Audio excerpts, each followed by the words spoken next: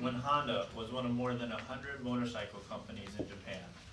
Our founder, Soichiro Honda, determined that the only way to be number one in Japan was to challenge the company to be number one in the world.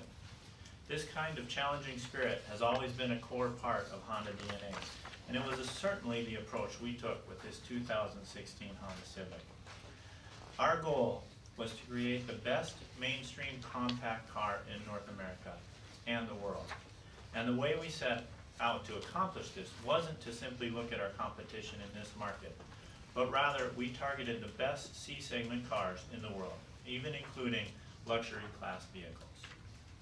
This led us to build from the bottom up with an all-new platform, chassis, body, and two all-new powertrains.